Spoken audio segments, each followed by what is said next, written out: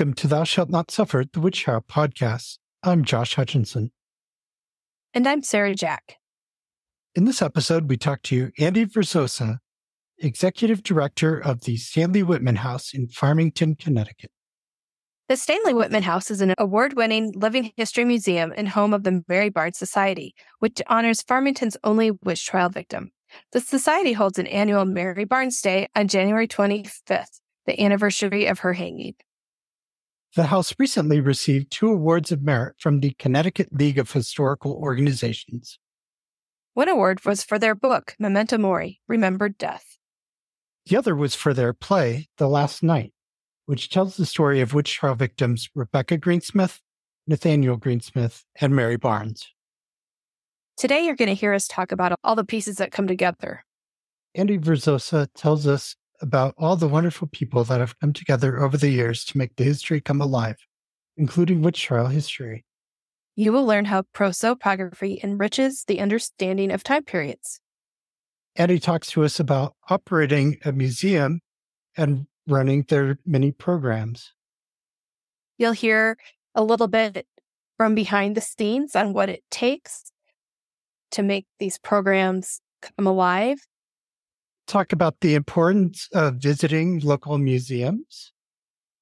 They have wonderful art installations that you'll hear about. And you'll learn about witch trial victim Mary Barnes.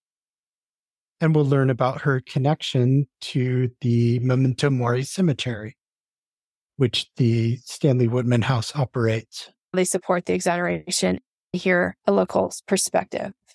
The board presented the Judiciary Committee with written testimony in support of House Joint Resolution 34, resolution concerning certain witchcraft convictions in colonial Connecticut. And we'll learn why Andy is excited about exoneration. You will walk away from this episode feeling the importance of history and motivated to find out what's available in your community. Andy Verzosa is the executive director of the Stanley Whitman House, a museum and living history center that collects, preserves, and interprets the history and culture of Farmington, Connecticut. His background in the arts blends into his passion for creating touchable history. Stanley Whitman House teaches through the collection, preservation, research, and dynamic interpretation of history and culture. Programs, events, classes, and exhibits encourage visitors of all ages to immerse themselves in history by doing, acting, questioning and engaging in colonial life and the ideas that form the foundation of that culture. It's hard to get people's attention. There's so much competition for news and good news. And as the quality of news is complex, what you get and when you get it. And hmm. around something about witches, when people think about witches, they think of Salem. They think of bewitched. They think of different things through popular culture in Hollywood. But what I found when I started my job in 2018, I had no idea about the Connecticut witch panics trials in Connecticut. None at all. I was familiar with the Salem witch trials and what happened there, mostly because there was actually Reverend Burroughs who lived in Maine, actually in, in my town, Portland, Maine, which was called Falmouth at that time. And uh, it had been, this is like the late 1600s. The Wabanaki Confederacy had wiped out the settlement there in Casco, which would be what is today Portland, Maine.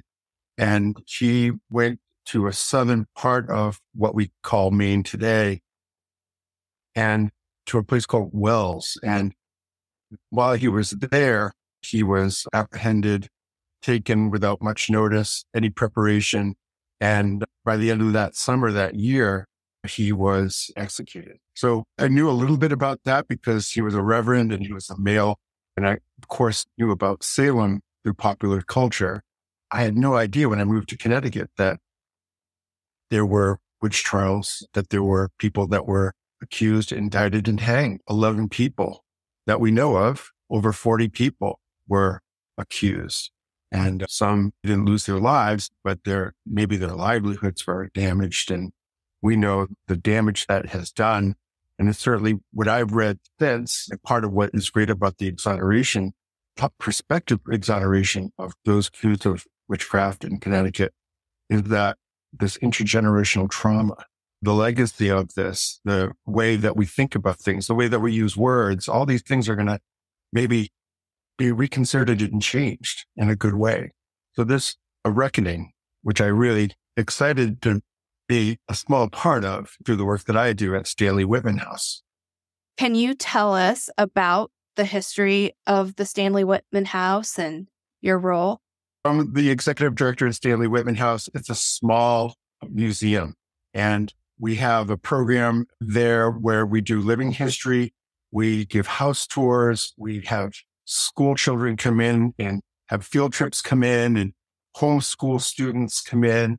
We have scouts that come in for different programs. They may even do a project at the house to earn like an Eagle Scout Award, things like that. So we're really very engaged and part of the community. When people think about Stanley Whitman House, they think about maybe when they were in school, they went there on a field trip and now their children are going there on a field trip kind of place. And we sometimes have legacy folks come.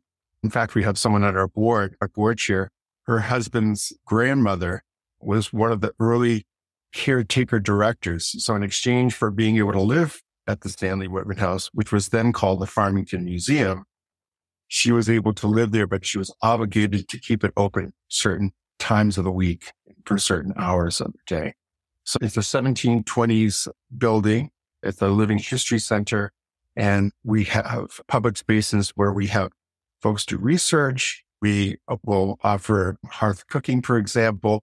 We have gardens. The gardens have been probably during COVID, one of the saving features of our being able to stay open because we had what I call a museum without walls. We were able to do programs and have people visit us and still go to work every day because we could do concerts outside. We could do our food waste program partially outside. I did an artist intervention program in our gardens and we use our cemetery, our Memento Mori cemetery, which has a connection to Mary Barnes, which I can get into as well. But we would give tours there. We would do gravestone cleaning workshops. So we really do quite a bit of showing people what colonial life was like through things like plants and food, through the trades. We also will have people come in to give talks and do programs. And again, through COVID, during the last three years, we have been using online programs. So I never knew how to do a Zoom until COVID. I never did panels until I worked with Virginia Woolf, Beth Caruso, and Tony Griego in 2021 when I was doing a series of online panels with them, each featuring what they did, and then having a group panel in observance of Mary Barnes Day. As you know, recently we just did The Last Night, a play that I commissioned and produced through the museum. I hired Virginia Woolf and Deborah Walsh to come in and write a play about the last night that Mary Barnes and Rebecca Greensmith had. And we did both a live performance and we recorded and then put together on January 25th, the actual commemoration date, 360 years of their hanging. We had that online, which was very well attended. I'm chief cook and bottle washer at the museum. So there's no production team. I'm doing the production, as you probably well know, doing what you guys are doing. I am the happy beneficiary, the recipient of wonderful research by my predecessor, Lisa Johnson. And Lisa has been with the museum for over 20 years. She started out as a volunteer, was on their board, but then had become the director of Stanley Whitman House for 20 years.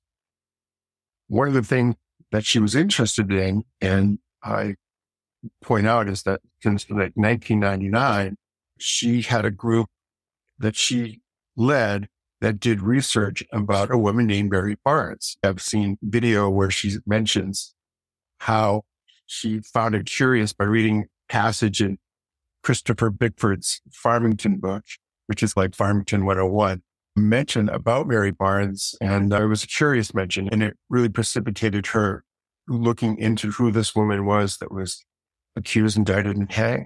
And one of the last people to be hanged in Connecticut. I have actually two documents which we're going to scan and I'm just going to make sure that everything's done. And we have to make sure the citations are in the documents here. So before I release things, I like to make sure those things are done because like we like to know where things come from, right? We want to credit people properly. And so I may just not have found that, but I have found these papers. And one is called In a Preternatural Way, The Witchcraft Trial of Mary Barnes. This was presumably finished October 28th, 1999.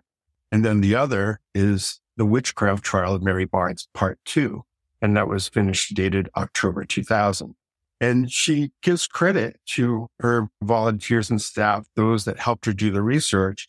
For example, I like mentioning people's names because it takes a village, right? So there's one woman named Julian Silverio. She was an admin at the museum. Another woman was Betty Kelly, who was a longtime volunteer at the museum. She actually recently passed, but she was researching records at the church, First Church of Christ Congregational in town. And she worked with a, an investigative reporter who volunteered, Lisa Backus, who would dig into different archives. And then she mentions some other resources. But why I mention those people is that our museum, what I think is a great legacy and a great feature of our museum is that I have volunteer researchers today who come in every Wednesday, once a week. They come in the morning, they stay until mid afternoon and they research things that I ask them to look into or things of their own interest. And it has resulted in, much like these early papers that Lisa led, we did last year a book on Memento Mori Cemetery where we did 23 vignettes of people buried out of the 800 odd graves that we know of people buried there. We were able to publish this book featuring 23 of those folks. And then we did what was called the Journal of Farmington History. So they're topics that my researchers are interested in. And so I provide the vessel for them to present it, to publish their works, which is, I think, a great thing to do in the area of public history. For me, Stanley Whitman House was an early proponent of the witchcraft research. I believe 2009 got a grant and Lisa Johnson, my predecessor, was part of a co-director person who led an effort to go to different repositories where they thought different um, primary resources might be or secondary resources. And they put that all together. They got a grant from the Connecticut Humanities and they put that together and they activated a whole group of people in the museum world and in these historic house museums and the Connecticut State Library. And so that got attention. And then in this early time of around this work around Connecticut witch trials and panics, Lisa put together plays, right? So some of them were literally having volunteers and they called them the roundabout players who would act different roles. And so one of those actors, one of those volunteer actors happened to be Virginia Woolf. So early on in the 2000s, mid to late 2000s, you know, she's portraying Mary Barnes and other people in the community are playing other roles in the trial because we know that the trial records were there and they were able to create a play from that by reenacting that trial. You know, that's a lot of activity, believe it or not, when you're trying to run a museum and doing that research, the activating volunteers to do the research to do the acting as part of the roundabout players. And then Lisa went to other places and presented her papers that, that were put together from the researchers' efforts. So she was able to talk about Mary Barnes. And she was able to do that by focusing the research on predominantly Thomas Barnes because there was more information known about him, for example. So that word prosopography, putting together information about someone there's no information about directly, but building that, the facts, the information around someone to get a, an idea of what that person was like, how they lived, who they lived with, what they believed in, what other people did around them. There's a lot of information that you can surmise right? So I love that. And I love that we do that at our museum. Uh, one of our volunteers, her name is Shara Palmer. She's been a long time volunteer. She actually was at the museum before Lisa was there volunteering. And uh, she calls what she does collecting crumbs. And eventually they aggregate and they make a piece of cake. And I love that metaphor.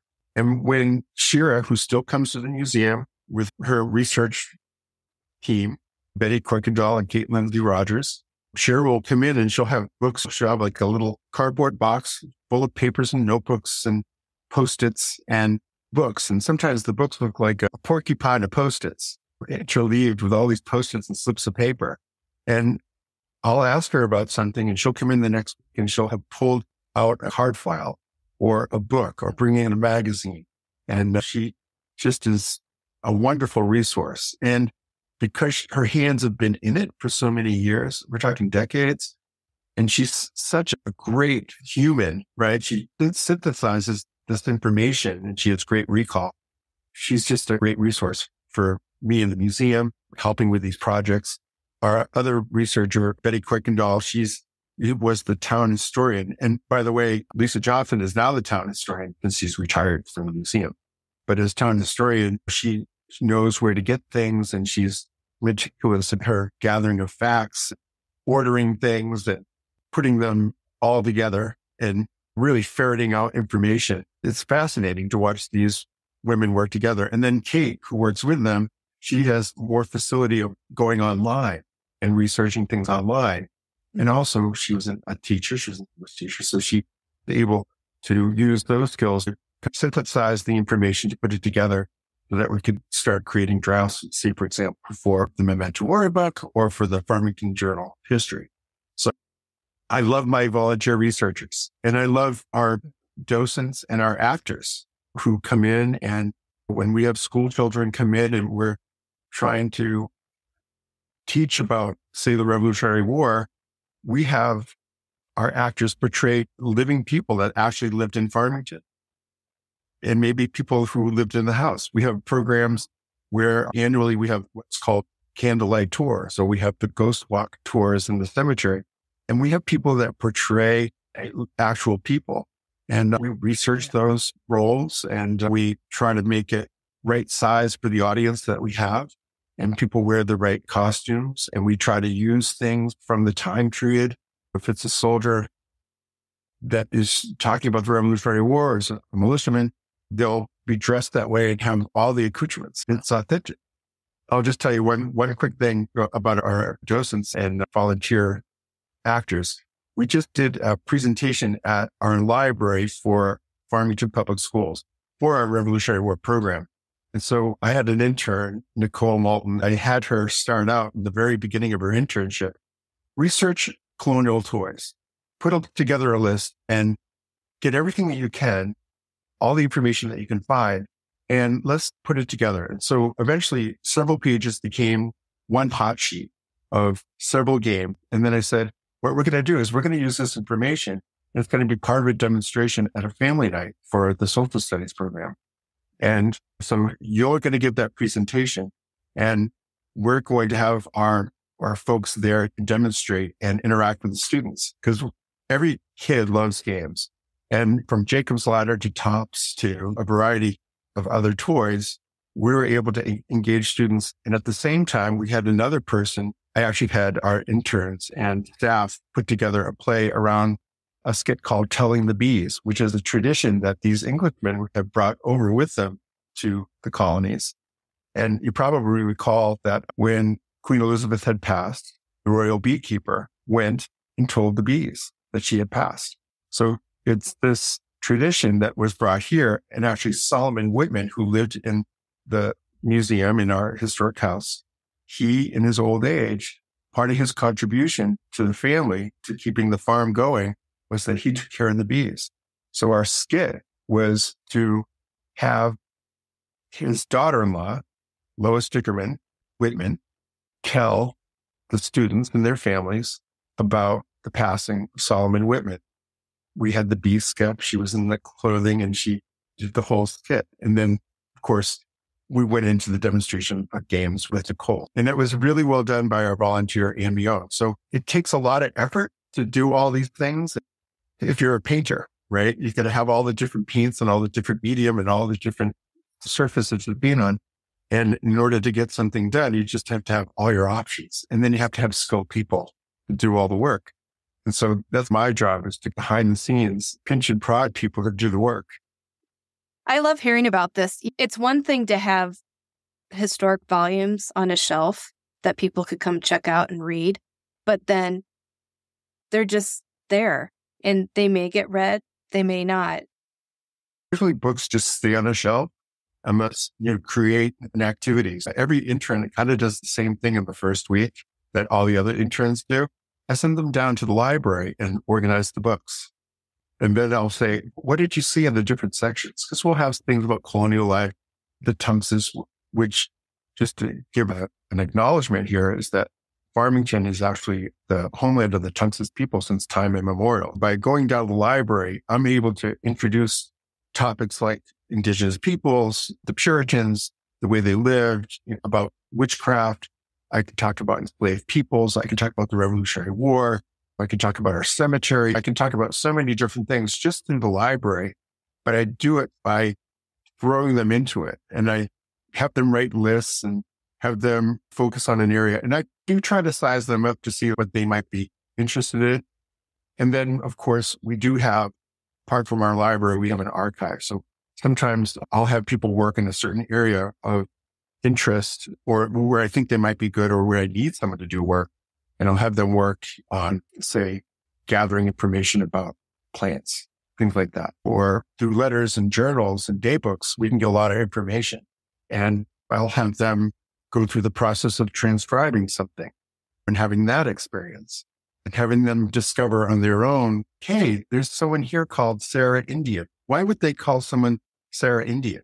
And then go through that whole background of uh, how people were recorded that were indigenous and the things that they did and the things that they traded with the person who kept that daybook, things like that. It's great. I love being able to turn people on to history in that way.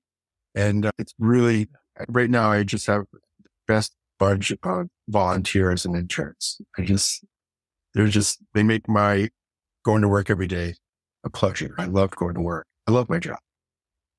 Yeah, it shows. And uh, it's really interesting that you're talking about the research because we just released an episode with Margo Burns, a Salem historian, and she helped put together the records of the Salem witch hunt, which is 980 legal documents about the trials.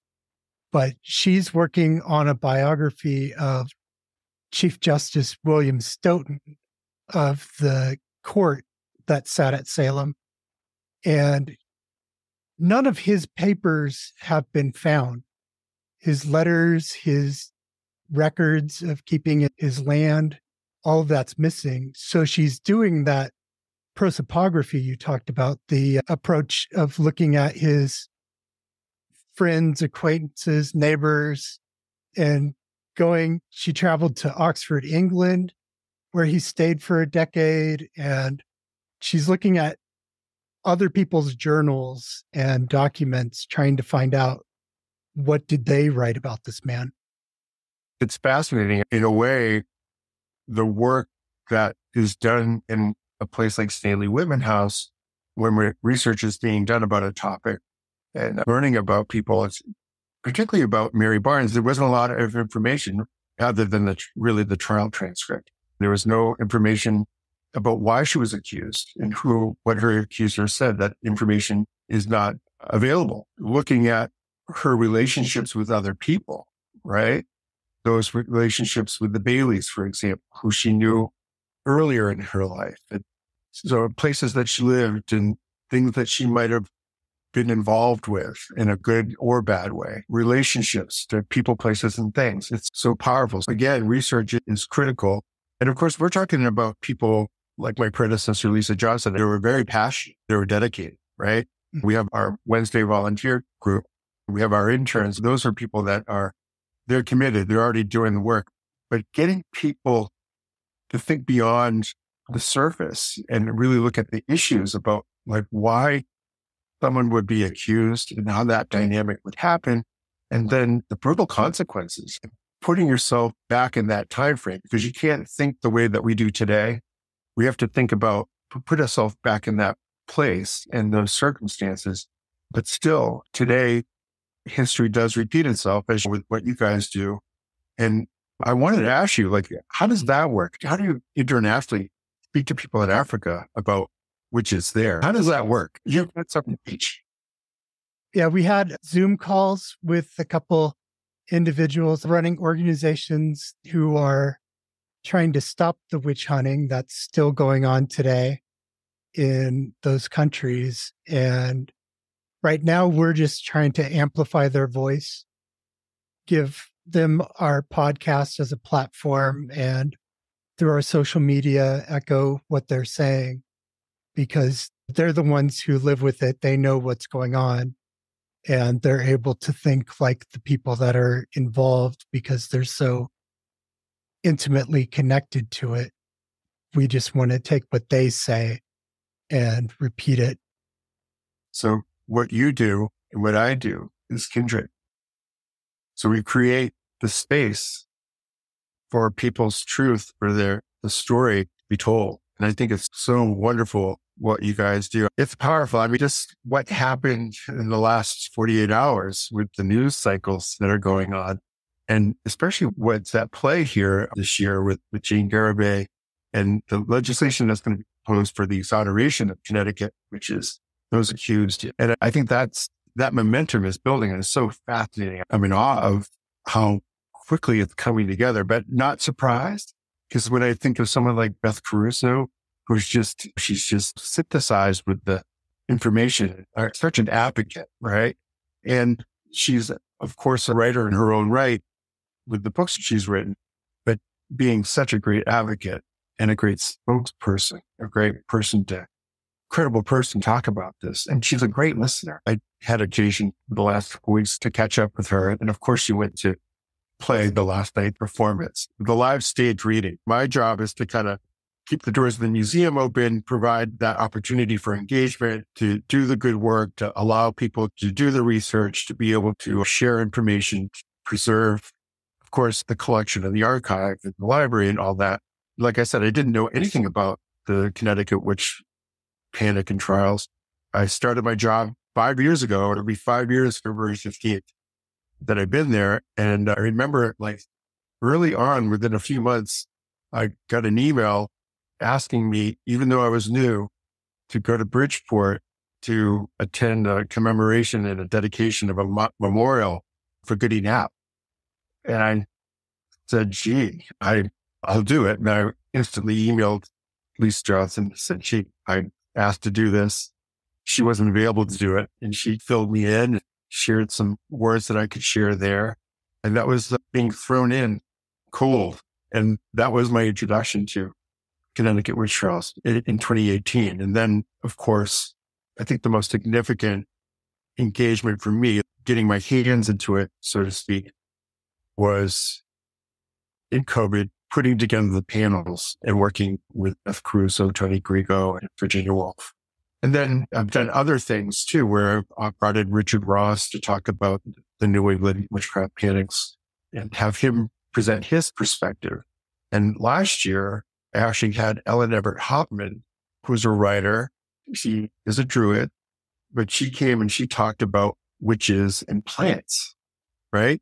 So we, I pretty much worked with her to present four different online panels, moderated panels. I asked Virginia to be the moderator and I did the back end of keeping the webinar going.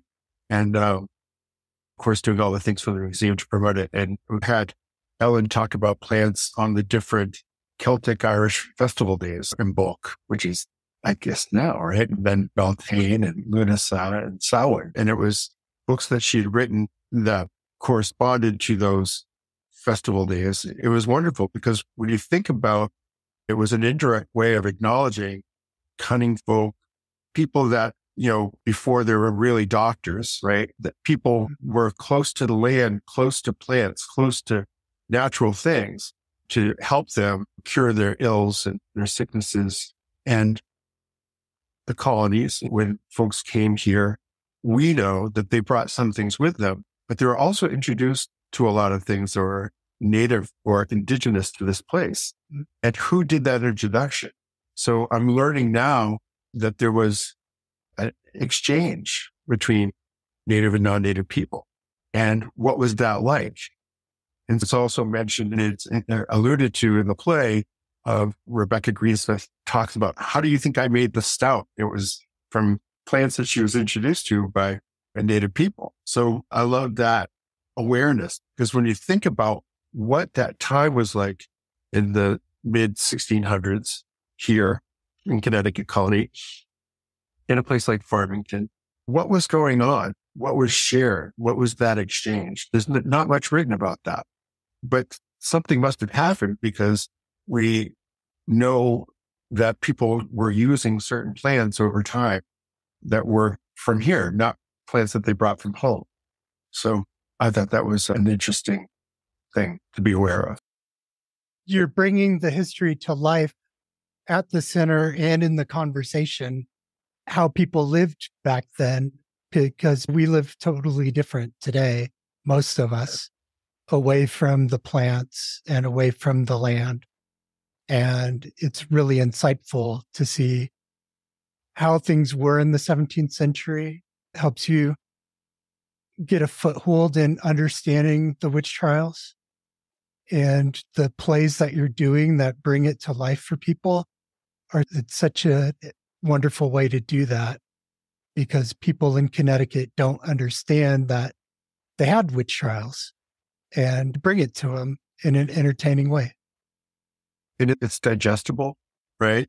And I think selfishly, I want to know and I don't know. So I get to work with people who do know and I get to bring them in, right? Or I have people that are interested too. And I get to say, for instance, a director assign them to do things for the general good of whatever project we're working on. I must have been a general or a marshal back in the day my other life, something, but I just, I think that's what I'm good at is putting that all together. But I have to say, we have this one, uh, gentleman, Dennis Picard. He's a historic interpreter I first met him early on and he was doing our Maple Day program. So in New England, it's a time honored tradition of tapping trees to get sap to evaporate to make maple syrup or maple sugar. And I took it for granted that it was just a New England thing, big in Maine. Everyone loves maple syrup and all that. But I learned so much more about one thought was that indigenous people showed people how to make it, right? And then it was adopted very quickly because uh, making maple syrup or maple sugar was not something that was done in Europe necessarily. And so it was one of the sweeteners here. Of course, there was cane sugars, but that was me somewhere else brought up. But this was something that even Benjamin Franklin could get behind, right? And so you could do this here. It's cheaper. You're supporting the local economy. There's a lot written about his interest in maple syrup and sugars. But uh, Dennis, I engaged him to start doing our hearth cooking programs and it became a monthly thing. And so it was more than just demonstrating how to make food or do things, you know, at a fire and or even how to light a fire. It was really all the stories that come with it that he knew. And he's been doing this a long time. So I love that being able to bring someone in like that. Another person I brought in, and this really relates to, again, the time of COVID, and we're coming up on the anniversary of John Jennison's passing last year. I think he died on February 4th. He was actually an intern of mine years ago at a business that I had, and he had some success in New York as a comic book illustrator. And he was an impresario who did all these things around Comic Con and all these things that young people do that I don't do, but I was aware that I knew he was really talented, a great artist, draftsman. And uh, so I knew him. We've been keeping in touch and I was at Stanley Whitman. And I was really trying to figure out how can I engage or get people of a certain age interested in making maple syrup or about Mary Barnes or telling the bees, any of these things that I thought were worth sharing with other people that would give people an idea about colonial life and uh, different aspects of it. And uh, he and I worked on, I would come up with the ideas and the stories and work on the copy, and he would illustrate an eight and a half by 11 history graphic. But uh, one of the things that we did is we did one about the hanging of Mary Barnes, and we used a tree as the central figure to help divide up the different areas where we could have the different other images where we could show the people that were at the trial. We could show Mary Barnes with head down. We do use a noose in that. And uh, we're able to give a very simple, abbreviated what comics do in those little strips. And it's presented in such a way that it's eye catching and it's very quick. And John did that for us. And uh, I'm always trying to think of different ways to get people to get interested. Thanks for sharing about John.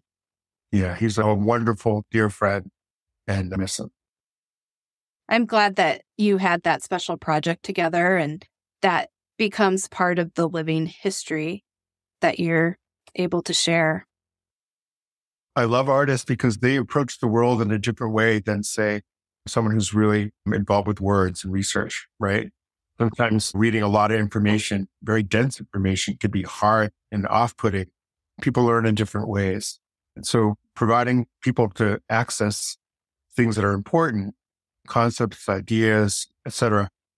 I found that having an artist come in and doing what they do through their medium is a great way to do that as simple as I've done a couple of exhibits in Stanley House. We did an exhibit called Capital America and two photographers, Robert Luzak and David Altenstein, went around the country and they have been doing this for several years, taking photographs of the different state capitol buildings inside and outside.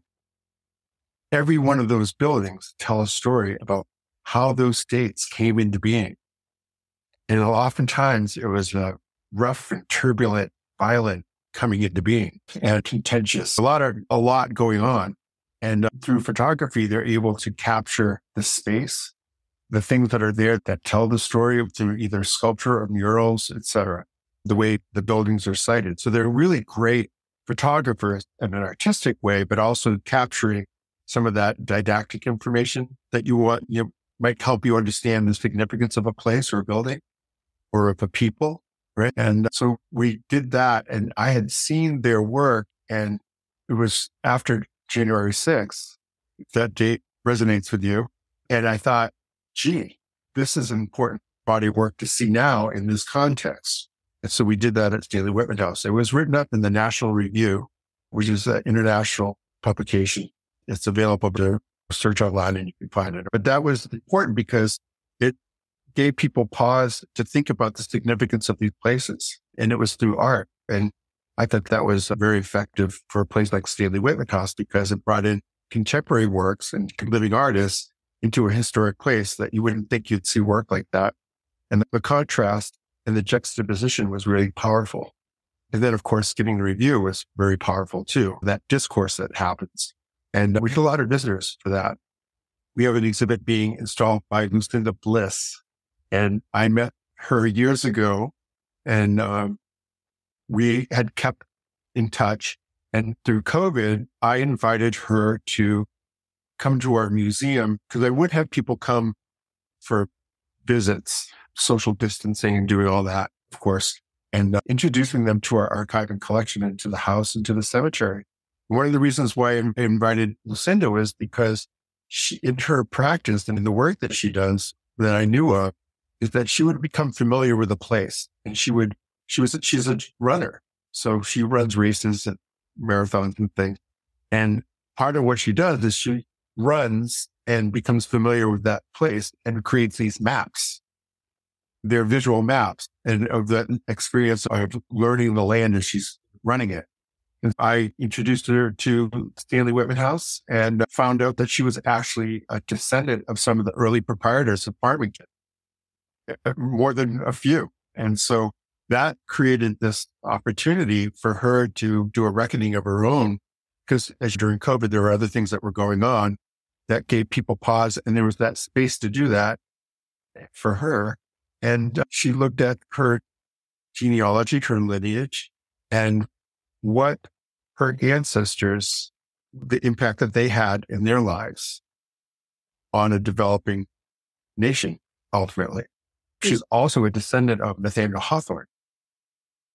And we happen to have a collection of letters sent by Julian Hawthorne, his son, to a woman who was associated with the house with the Whitman family of a few years love affair. So that was clandestine. It was quiet, secret. And so that was powerful for her to know of them and look at them, be able to read them, hold them in her hands.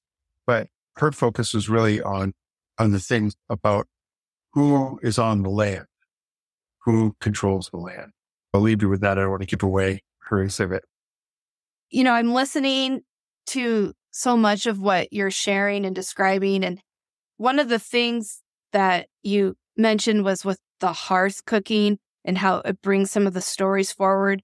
And then also when you've talked about the research and these art projects and how stories are coming forward and they're paralleling with modern lessons. It's so important that everything that's coming out in those stories is acknowledged and embraced so that it can be recognized as these are all facets of what have made the nation who we are, the state of Connecticut who we are, who the people in the 17th century were, who we've come now to be. And I then I think of that concern of, oh, if if the witches are talked about, if we start talking about this ugly thing, what is it just going to be a stain? But it it actually isn't. It's part of these other pieces. And do you think that Connecticut and other societies and museums and libraries can learn from your example or maybe even what they're already doing, but see that, hey, there is room for this history that makes us uncomfortable because more things come out of it that are good. When I was a kid, we were a military family. And oftentimes my father wasn't around. And it was just at the time, really my mom and my brother. I had younger brothers, but they're much younger, but my mom and my brother, and we would go to the library. And it was this incredible space with this incredible benefit of being able to check out books. So I would check out the max number of books. My brother would check out his max number and my mother would do hers. And by the end of it, before the next visit, we'd gone through all those books, right? And we were able to have our own interior engagement with the material that we're reading, right? And then we were able to talk about it. What you think? Or play act something from a book that we really liked, right? we did this. And I think what libraries and museums and places where you can learn are important is that it's that civic space. And we get to learn about storytelling and we get to learn about other people. And we can do this in a safe way It's very powerful. And you get to look at the universality of what it is to be a human or humanity, right? Mm-hmm. And so I look at, I'm a, as you probably can tell right now, I'm a generalist. I like taking a little here and a little there and this, but I do a little structure. So I do, I live near a museum. I live by the New Britain Museum of American Art, like a, a city block away from me. I can't picture not living in a town without a museum, right? And sometimes I just go there just so I can breathe the air, feel the space, experience the light, and then look at something that someone made, someone's interpretation of something, and go there, leave this dimension and go to that dimension. And so I think places like Stanley House are important because you're giving yourself permission, time and space to put yourself into a place where what was it like to live in colonial America? or Revolutionary War time America?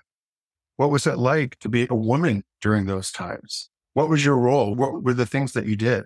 What did you do when you were a child?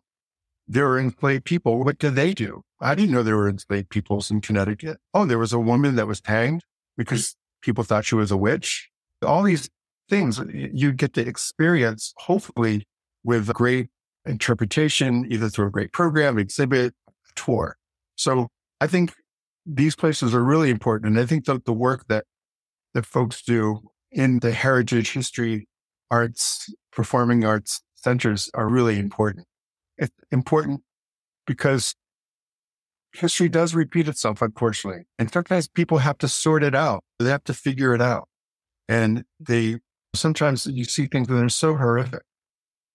And sometimes you just have to see that there's a way out or there's an alternative or there's a solution or that people still carried on. Right. And that thing, bad things do happen and that you could be prepared for them or you may not be prepared for them, but you get to learn through people's lives through that are recorded, that are celebrated, that are maybe people talk about a really bad person. You still got to hear that story too. Yeah, that's such an important point that you need to learn those stories because something like that is happening now or will happen in the future. And it's good to be ready and know that they got out of that. So, how do we move forward? You need to look at the past in order to get there. You got to do it critically, right? You have to be able to to have that example and then have the experience of putting it together and then to be able to step back. One of the things about the last night, I didn't get too deep into being making sure that everything was factually correct or they got all the facts in, right? Because I knew it was going to be an artistic interpretation. It was going to be Ginny's and Deborah's, the magic that they would create together. What was going to be important was the performance and the elements that will ring true in a wonderfully crafted performance. And I didn't have to pack everything in there just like a painting. If you're trying to pack every single thing in a painting, you might just end up with a big mess. But sometimes simple, spare, thought out, well crafted is what's needed. And less is more. And I think that's what I'm excited about the next play that I commission or the next volunteer that I work with on a project that they want to do or work with the next intern and teaching them something or teaching, you know, having them get involved with how to write a label copy for an exhibit. Like I said, I think the most important thing I think for people to do is to at least try, expose themselves, take themselves out of their comfort zone. They don't have to hurl themselves into anything, but just step outside of their comfort zone and check things out and then be able to learn to see, learn to listen, learn, learn to tell. Storytelling is so important. And, um, I don't know about you. I might be really uh, giving you a lot of information about how old I am, but I remember one of the things that we had to do was write an autobiography in English class. I don't know about you guys, but and it was like, oh, what are we going to write about? So, and, and how do you do that? And I think that's a great exercise. Unfortunately, as you get older, things happen and you might be part of writing someone's obituary. And that's pulling out those highlights, those things that are important in that person's life or loved one's life. That's something that I think is an important thing to be able to do, unfortunately, but also to be able to put together your thoughts around an issue, a cause, something that you believe in, other than just saying, I believe in that. This is the way it should be just being so black and white. There's a lot of gray, right? There's a lot to think about. And things change when other facts are presented, right? Or other situations happen. So everything's not always what it seems sometimes. And I think that's the wonderful thing about interpreting history too, is that it's always changing. It's very dynamic. How does your internship program work? When is the opportunity for people to apply for something like that? So we're a small museum. I lovingly say it's a boutique museum, which means that it's really small. And I tailor the experience to everyone that comes through the door. So I try never to turn anyone away. I try to work with people where they're at. So we have, for example, the last couple years, especially, we've had people come in through our programs. So they might do a gravestone cleaning workshop or a food waste program. Or they might come in on a field trip or say one of their classes at the local university might come in and they meet me and they have a house tour by one of the staff or the volunteers or they have some engagement. And they're obviously they are predisposed because they're there for a reason but then we try to figure out why they're there and what might keep them there And because we want people to come back. We want you to become a member. We want you to come to other programs. And that's our mission. We're there to serve public in that way. So I do a lot of listening and seeing where people are at. And with young people who are doing a formal internship program, I will figure out what the area of study is, how many hours they have to complete, what the goal is. Some people have capstone programs. Sometimes we have grad students. We have mostly undergrads. We have high school students that come in. And for as much as you think that, oh, this is great we're going to have an intern, they're going to do all this stuff for me. It's a lot of work for me because I put a lot into it, right? It's reciprocal in that way. And I really enjoy it.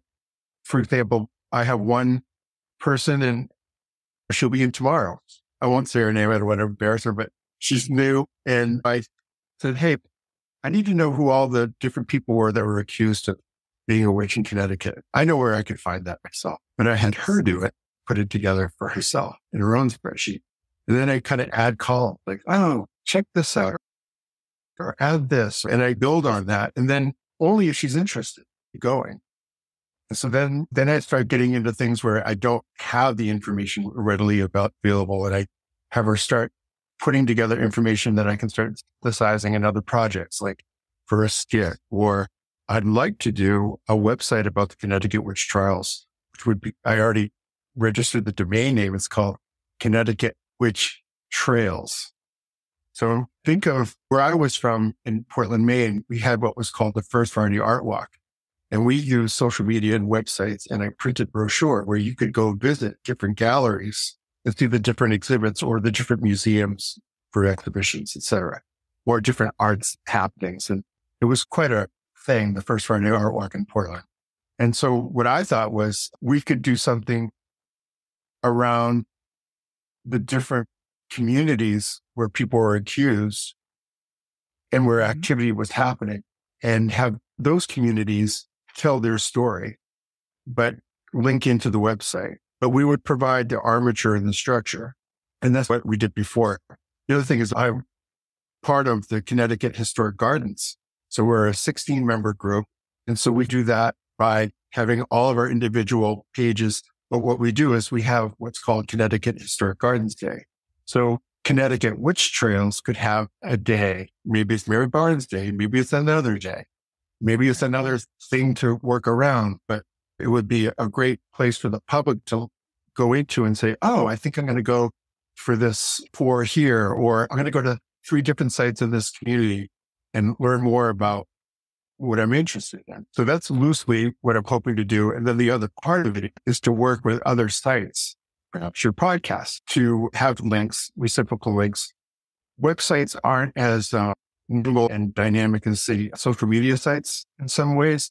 But the thing I like about websites is you can have sections where it's like bibliography, but just cited sources in certain categories.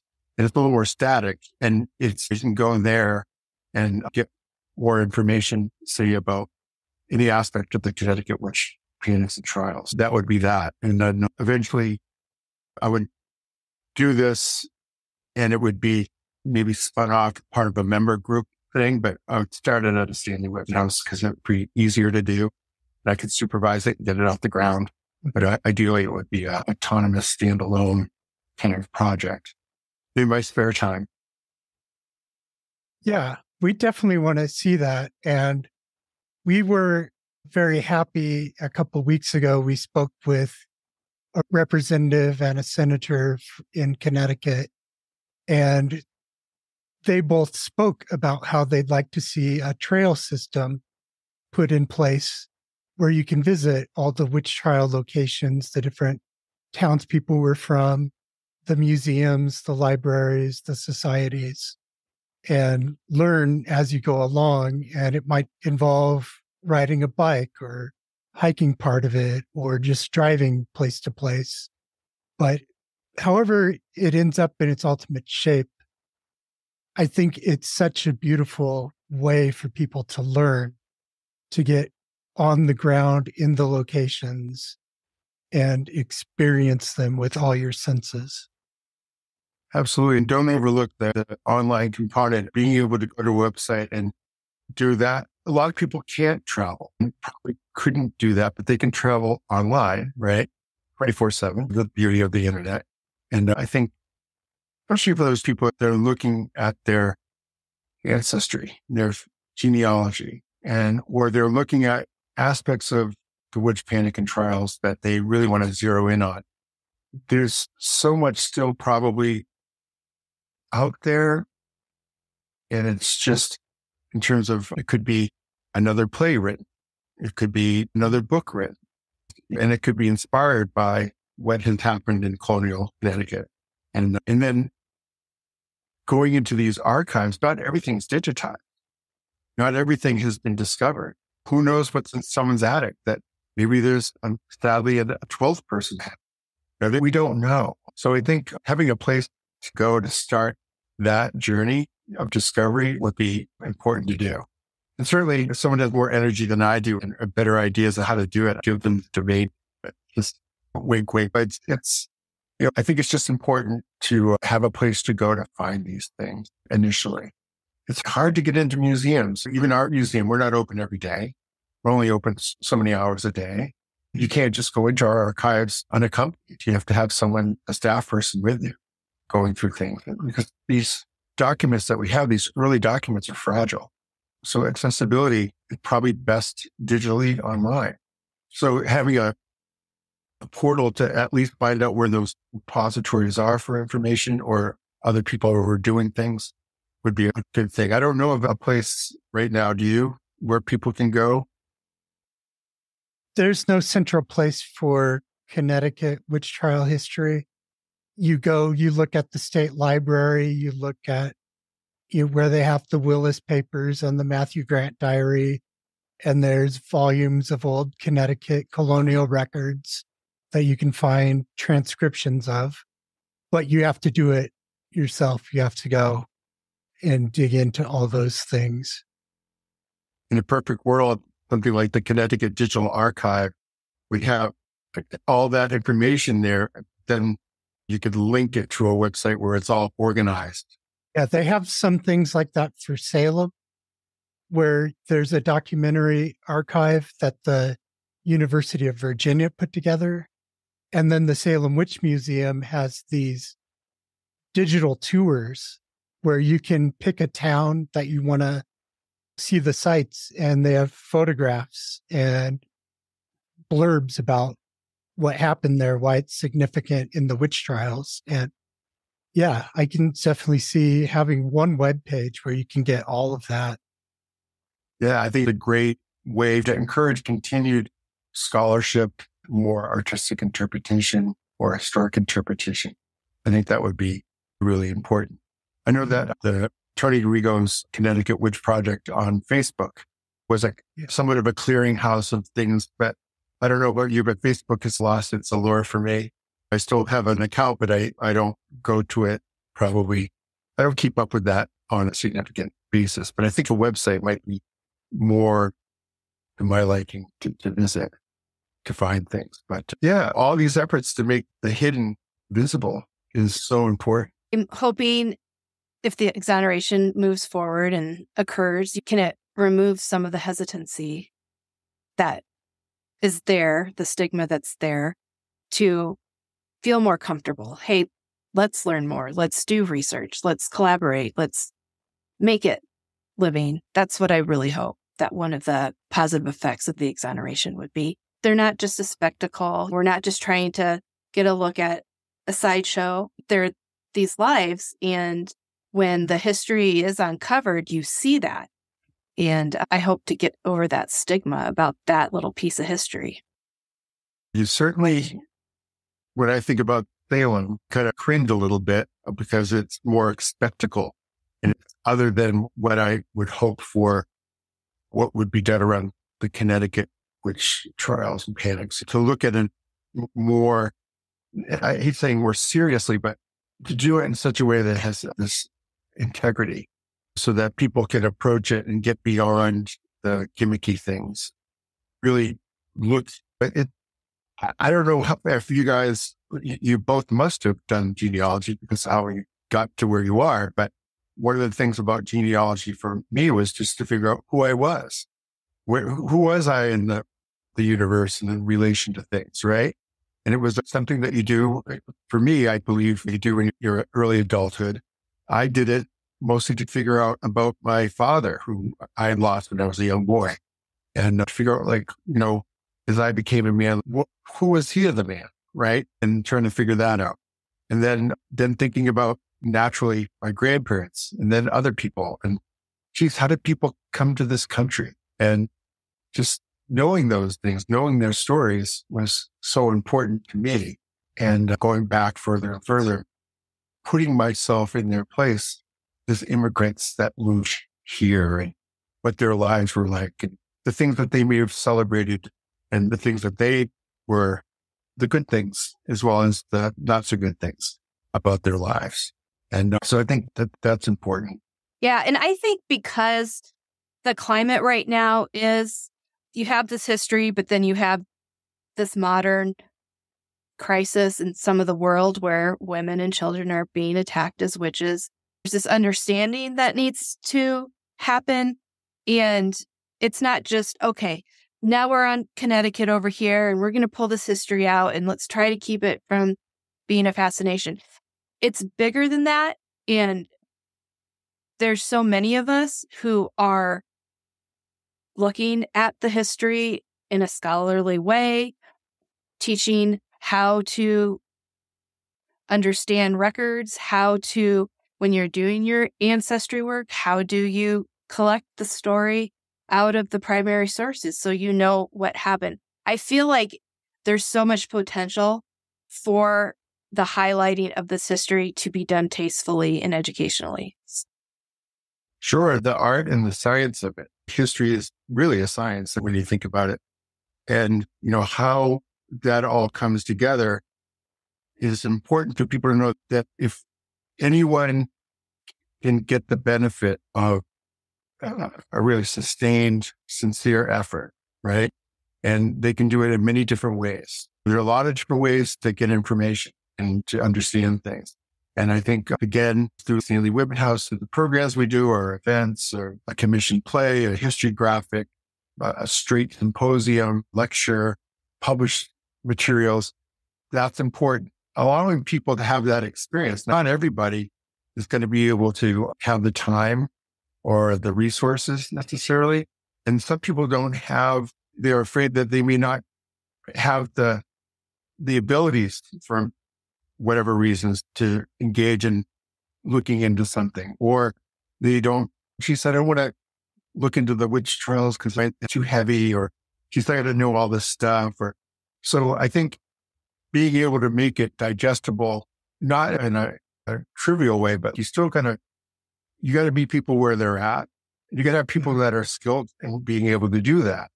You, you certainly, when you're talking about history, aspects of history with children, it's different than if you are with adults, right? Doing it and history is hard. Some things are really hard. And, but being able to do it in a way, you got to be brave. You got to be courageous. You got to persevere. You got to have uh, all those kind of things, soft things that skills that you got to have to be able to be a good mentor, a good teacher, a good collaborator. Like you guys are great collaborators. Like you guys I'm sure your journeys to get to where you are here tonight is pretty amazing. And I got to ask you, it must be pretty fulfilling. And if I were to ask you guys, like, how fulfilling is it for you to be doing this? Incredible. It's been incredible. It's life changing. It's so, so amazing. Every day you wake up, you've got to do X, Y, and Z and uh, get to look forward to tomorrow and what's going to happen and you don't have to do it oh. alone. Yeah, we have a whole group that we do it with. And they'll find you. You just do the good work and they'll find you. It attracts people. Doing good work attracts people. That's the kind of spiritual axiom here. When you do good things, you attract good people and people that will help you along the way. You don't have to have all the answers or have it all figured out or get down so far. You can just do what's right in front of you. And I, I think that's really a life lesson for people. When you talk about the Connecticut witch trials, when you talk about which people persecuted for witchcraft, there's a lot of aspects. Certainly colonial, there's misogyny, right? There's a whole bunch of things that are going on there. And uh, there are going to be people that are going to break that down in those areas of expertise. And it's going to be, that's what keeps it exciting for me is I, I just keep on learning and I don't have to do it. I'm not being tested the next day. Like I said, you don't have to do it alone. You can do it in company with other people, or you can do it totally off on your own. And, and I think for the exoneration project, what I hope is that, yes, I hope that the legislation goes through and that happens. But I think, and I think you already know this, and I think you may have already alluded to it, or just the, the way that you're approaching it. It's an ongoing thing. It's going to take you other places. I'll share with you, there was, I was very fortunate to be able to participate with the Upstander project.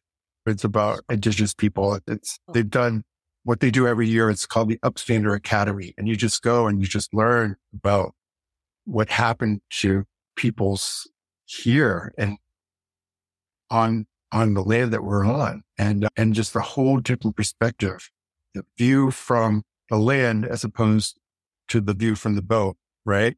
So it's this thing about the settler mentality and the indigenous perspective. And it's fascinating. And so for me, it's another, it's not separate. It's actually still part of the same, what I'm doing with what we're talking about here tonight. And mm-hmm. it's really looking at setting the record straight, styling and doing it in a way that we don't have to take on the sins of our ancestors necessarily, right? We can get right size with things and then do the next best thing, do the right thing. It's those actions, that commitment that I'm excited about and that you guys are excited about that passion we have and you have, that's one of the things that brought us together. I remember when I, we were prepping for the last night episode and I'm looking at our email communication. And I'm like, I don't know enough of where this came from and why is this reading happening and what is this Stanley Whitman House? And part of that's because I'm not there in your community directly. And I'm just so glad I picked up the phone and talked to you and started learning all of these amazing things that you're doing and the mentoring you do. So I'm just so grateful. Thanks for having that first conversation with me and the several others we've had. Those have been really important. And then think about the land that you're on and whose homeland it is and, and a guest on the land. And think about what does that mean being a guest on land? And think about the history that preceded the history that you're talking about. And in colonial times, more that obscure invisible history wasn't just about the Connecticut witches. It was also some of what was happening with indigenous people in that interaction. I'm learning mm-hmm. about those things and I'm hungry for it. So I look it up. I tried to create space for that. And uh, so I would encourage you to do the same. There's, and you'll see the universality of some of the issues are parallel, right? The other, the scapegoating, the erasure, the silencing, all those types of things. And who wrote history? People in power. But sometimes they're so good at their recording of history that they record things that kind of probably they don't realize, but give you a lot more information about what's not being written about. Right. In the absence of something, sometimes you get a good picture of something. So pretty, pretty exciting. So I would encourage you, even wherever you are, that's the great thing about figure out where you are and what your story is. That's awesome. Thank you, Andy. How can your community and others support the Stanley Whitman House? Of course, becoming a member is important, contributing to the annual fund, thinking about places like Stanley Whitman House in your community and what you can do as a volunteer because that in kind giving of your time and your expertise, it has an equal, if not greater value sometimes than money. Of course, we want to raise money to keep the lights on, keep the heat on, but we also, we, we're a small museum. I'm the only full-time person. And I dare say I wear a lot of hats, right? Chief cook and bottle washer. I, I have people, if they just come in on a Monday afternoon when I'm by myself trying to do a bunch of stuff, helping me to put together a list of vendors so that I can get estimates. Sometimes it's better use of my time to do other things and have a volunteer help organize that information for me. So giving of yourself in more than a monetary way, but in a thoughtful, generous way of your time and the things that you might be good at. You might be a good person with keeping the books. You might be able to weed in the garden or serve in the board. It's still the thing about um, the nonprofit history art industry is that we do depend on a lot of volunteers, volunteers. And it's a time honored thing. That's how I got into the field actually was I didn't grow up to be, I wasn't born museum director. I actually came through the back door. I went to art school. I basically served, I owned an art gallery, served on many different boards and committees, volunteering, and got to know a lot about nonprofit museums, nonprofit activities, and uh, in terms of governance and engagement and all of that. When it came time for me to join my husband down here in Connecticut, I was, I had the opportunity to go back to Maine for a year to run a museum as an interim director. And then when I came down, because of that experience and my prior volunteer experience, I saw was open down here, applied for them. One of the positions that I took was the Stanley Whitman House. So I didn't have years of experience in that way, but I had I think I had what they wanted, or at least I fit the bill at that time. And some people study and have a master's and higher degrees, and I don't. I have an undergraduate degree from art school and years of experience running a business and serving on boards. I'm running a small museum in Connecticut, which is for me, I just love my job. I love going there every day. Here's the latest minute with Mary featuring our friend Mary Bingham. One of the best resources to recently be digitized and become available online are the medical records of John Winthrop Jr.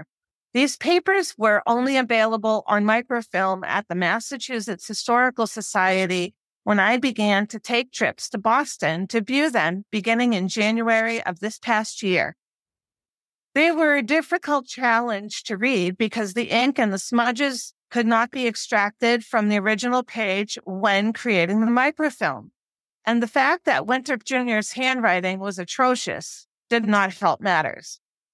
The digitizing process cleaned each page that was scanned to better satisfaction, making the papers much easier to read, so to speak. These papers are so important to anyone studying history because these records state the names of his patients and the town in Connecticut where they were treated. One of his patients was Mary Barnes, who was treated by Winthrop Jr. on April 7th, 1659. Why? I don't know the answer to that question just yet. Aside from transcribing his writing, I intend to decipher the alchemical symbols denoting how she was treated, then make my best educated guess as to why she was treated. And this will take time. But what can be gleaned from this primary source is that John Winthrop Jr. knew Mary Barnes, as he did several others wrongfully convicted and hanged for witchcraft while he was away. Imagine the frustration and anger he felt towards those responsible for the deaths of the innocent victims he knew personally. Thank you. Thank you, Mary. Now here's Sarah with End Witch Hunts News End witch hunts. Witch hunts are targeted blame and punishment toward vulnerable people, alleged witches. Power structures around religion, familial status, age, gender, and falsely attributed causes of misfortune universally contribute to the circumstances of witch hunts, past and present. In the last 12 months, Josh Hutchinson and I, along with Mary Bingham, Beth Caruso, and Tony Grigo have developed our individual witch hunt causes into collaborative efforts that have stretched and evolved our work elucidating the matter of witch blame and fear. In 2022, the End Witch Hunts movement was founded. End Witch Hunts Project, Thou Shalt Not Suffer podcast, was launched, and another End Witch Hunts project, the Connecticut Witch Trial Exoneration Project, brought a witchcraft crime exoneration bill to the Connecticut General Assembly with the partnership of Representative Jane Garibay, Senator Saud Anwar, and the support of many Connecticut legislators who recognize the relevance of standing against witchcraft hunts. Many historians, descendants, and supporters have worked and sacrificed their time, shared their knowledge, and amplified their voices to grow End Witch Hunts movement and projects. We have produced weekly thought provoking podcast episodes educating about the many layers of witch hunts in history and the nuances fueling witch hunts harming innocent people right now, today. You can learn more about the past and modern stories of the people harmed by this merciless conduct in any of our expert filled episodes. Join us every week to hear the latest important conversation. The accusation details from witch trial primary sources are jaw dropping. The news of current attack victims across the globe is jaw dropping. We ask, why do we hunt witches? How do we hunt witches? How do we stop hunting witches? Messaging that clarifies how power structures around religion, familial status, age, gender, and falsely attributed causes of misfortune universally contribute to the circumstances of witch hunts past and present. Share the attack news. Share a podcast episode. Read a book. Write a post or blog. Write to a politician or diplomat. Donate money to the organizations that are creating projects that intervene in the modern communities where witch hunts thrive. You can financially support the production of the podcast. The United Nations Human Rights Council has acknowledged this global crisis and beckons us all to take additional action. Awareness of the violent modern witch hunts against alleged witches is increasing across the world. International media, organizations, governments, and individuals want it to stop, are taking action, and are educating about it. We are all stakeholders in efforts to stop these witch attack and abuse crimes against women and children. Educate yourself more. Now you are aware of this modern horror. What will you do? We have links in our show notes to a new YouTube documentary, Why Witch Hunts Are Not Just a Dark Chapter from the Past with journalist Karin Helmstaedt, featuring important interviews with several experts, including advocacy for alleged witches advocate Dr. Leo Igwe, Witches of Scotland advocate Dr. Zoe Venditozzi, modern attack victims, and witch trial historians. Please see the show description for the link to watch it. This week, why don't you check out the International Network Against Accusations of Witchcraft, an associated harmful practices organization. It was formed in 2022, just like us to connect the different groups and initiatives working on this issue across the globe. It seeks to raise awareness about the human rights abuses taking place as a result of beliefs in witchcraft or sorcery and encourages action by states and individuals to end them. The International Network aims to raise support for the United Nations Human Rights Council's resolution on the elimination of harmful practices related to accusations of witchcraft and ritual attacks. Their website is in the episode description. Go visit them. This month, the Salem, Massachusetts area and Hartford and Farmington, Connecticut are getting a rare and important visit from Dr. Leo Igwe, director of the Advocacy for Alleged Witches nonprofit organization. It is an incredible honor for Josh and I to organize a week of speaking engagements during his speaking tour in the United States and to accompany him as he speaks in places of historical significance to early American colony witch trial history. You can follow Dr. Leo Igwe on Twitter at Leo Igwe to see how he is advocating on the ground in the victim communities in real time as these individuals are experiencing being accused and hunted. The first event at the Salem Witch Museum is virtual, but Dr. Igwe will be with us in Salem touring the historic sites guided by a local, seasoned in the history, Mary Bingham. Tuesday, May 16th, is your chance to experience a very special evening of in person conversation with Leo at the Rebecca Nurse Homestead in Danvers. Please see the Facebook event for details. Isn't this a great week?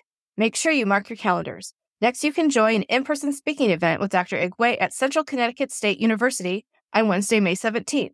While in the Hartford area, Leo will be touring known witch trial historic sites with author Beth Caruso. On Thursday afternoon, Leo will be presenting at the Stanley Whitman House Living History Center in Farmington, Connecticut. Look for Facebook events for all of these occasions posted by our social media. Come hear, Leo. Invite your friends and family. See you there. Get involved. Visit endwitchhunts.org. To support us, purchase books from our bookshop, merch from our Zazzle shop, or make a financial contribution to our organization. Our links are in the show description. Thank you, Sarah. You're welcome. Thank you for listening to Thou Shalt Not Suffer, the Witch Trial podcast. Join us next week. Subscribe wherever you get your podcasts. Visit thoushaltnotsuffer.com. Remember to tell your friends about the show. Support our efforts to end witch hunts. Visit endwitchhunts.org to learn more. Have a great today and a beautiful tomorrow.